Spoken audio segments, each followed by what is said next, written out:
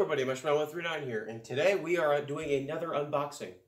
Um, as you can see by my Zelda figures, it is a Zelda unboxing of this Skull Kid figure. Yes, uh, this thing, I believe, came with, um, what is it, uh, Majora's Mask 3D, when it came out on the 3DS.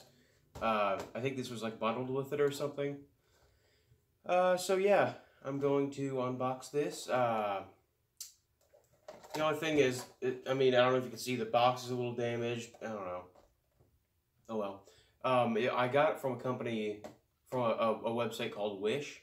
It has like a bunch of random stuff that you can get like really good deals on. I think I paid like 15 for this, which I, I'm pretty sure it goes for a lot more than that, but yeah, I think I got a pretty good deal on it. Um, anyway, so this isn't going to take very long. It's short unboxing, so uh, yeah let's just uh, get into this right here.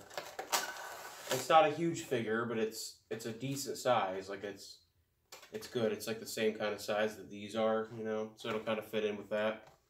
Um, I guess I can show you the the sides of the boxes. There's like artwork from uh, Lost Woods up there with him there, and logo for the game. Some Skull Kid art on the side, and then back here you have like some screenshots from the 3DS game and all that, and then I like on the top here they just have a Majora's, uh, Majora's Mask, which is pretty cool. So there's the box. Um, this thing just comes apart easily.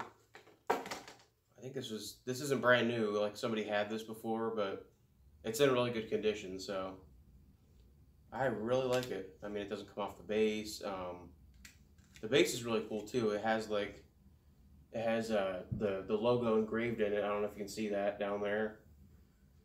Um, yeah, really cool detailed figure. So I think it was worth the price.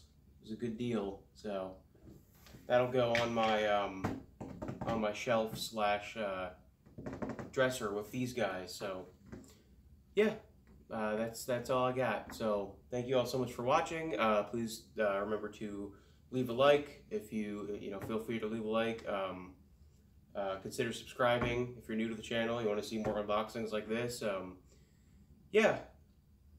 So anyway this is uh, this is mushman139 signing out